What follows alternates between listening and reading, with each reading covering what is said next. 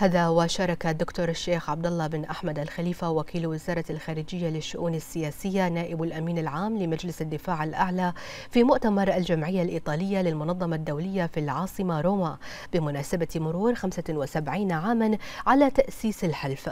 وأكد وكيل وزارة الخارجية للشؤون السياسية في كلمته خلال جلسة نقاشية بعنوان الأمن في منطقة الخليج أكد حرص مملكة البحرين بقيادة جلالة الملك المعظم على تعزيز الشراكة مع حلف الناتو لتوطيد أركان الأمن الإقليمي والدولي وذلك في إطار عضوية المملكة في مبادرة إسطنبول للتعاون.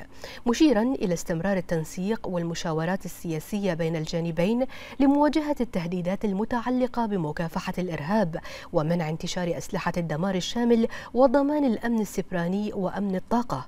وشدد على أن أمن منطقة الخليج جزء لا يتجزأ من الأمن العالمي. العالمي وأن التحديات المتزايدة والمتشابكة في عالم اليوم تتطلب تعاونا مستداما وشراكات استراتيجية بناءة داعيا إلى إيجاد آليات فاعلة لتعزيز الأمن الجماعي والعمل على حل كافة النزاعات بالوسائل السلمية وفقا لقواعد القانون الدولي.